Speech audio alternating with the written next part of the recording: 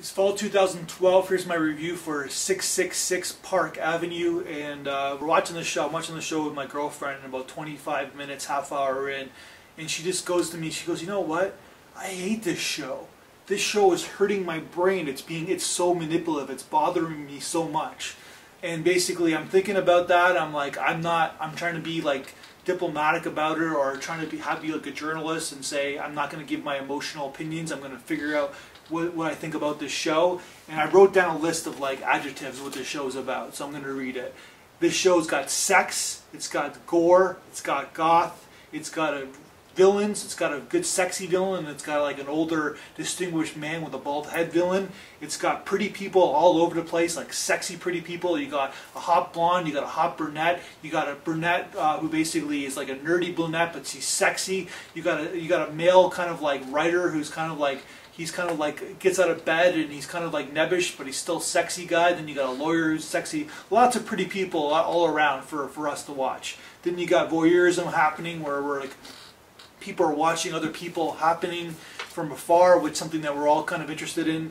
We got scandals like going on everywhere. We got white collar scandals. We got blue collar scandals. We got a mystery of like what happened to these characters that disappeared or get murdered and stuff like that.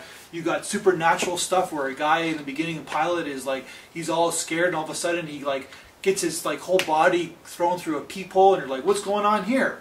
And then you got you got horror happening and it's like there's like all this like gore like i said and there's like there's like suspense where it's like someone's going around the corner and you're wondering what's going to happen. You got wonderment and it's like you got like okay what's happening here? What's going on at 666 park avenue? What's what's what's happening? It's like you got this all this stuff going on. And then you got then you got what's going to happen next storytelling theme where it's like these characters, these characters okay, and then you got the villain guy who's like the guy from from Lost who's like channeling his uh, his basically his last season Lost character where he played the villain, even though he was in a body of somebody else, but he was being himself. Whatever. For anybody who knows Lost, understands this. So th this show is going to be successful because it has all these things in it.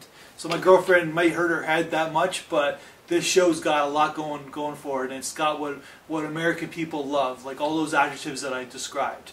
And it's got some pretty cool sex scenes going on too, which people love. And it's got all this kind of like uh, these these like these things people talking about orgasms and stuff, but of course the word orgasm isn't talked about, but it's like implied. All these implications happening as well.